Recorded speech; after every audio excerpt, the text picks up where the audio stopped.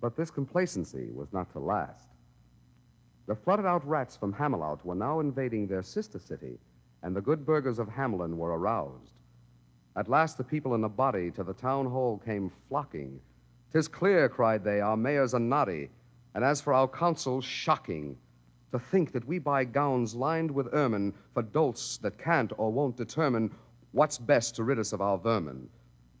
At this, the mayor and his corporation quaked with a mighty consternation. Then suddenly, out of thin air, a figure appeared. His gay long cape from heel to head was half of yellow, half of red, and he himself was tall and thin, with sharp blue eyes, each like a pin. His hair was loose with hue of red.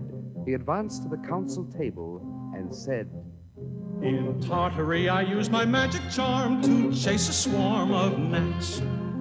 And in Asia I erased noxious broods of vampire bats.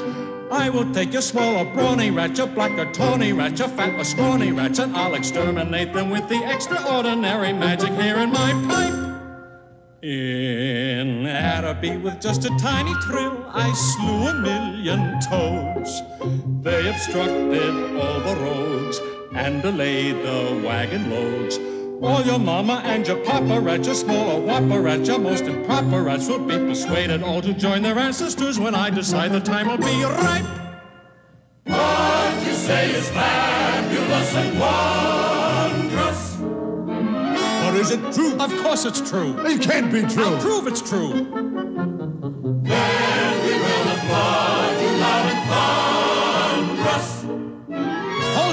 Applause, hold your applause. Why should we pause? Simply because I haven't finished.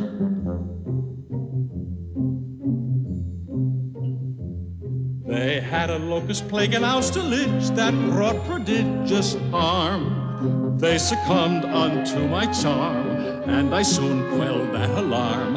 And your rodents, I am confident, will have affinity for my fine instrument, for they are music lovers and they'll want to hear the concert I perform on my pipe. In Syria, a problem serious, mysterious, I solved. I drove out a deadly bee that no human eye could see. And I promise you exactly that's what I intend to do to your assorted rat, your gay and friskers, your old rats with whiskers, rats of every hue and rats of each type. Great exterminator, I'll straighten out your ugly mess. He can't relieve our great distress.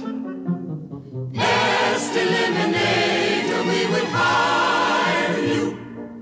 I'll gladly do the job for you. He's not the one to get it done. He's not the one. Good people, kindly stop your bickering. Time's flickering away. I have a very full agenda. I can only spend a day. But I can guarantee you one day hence the abolition of your pestilence.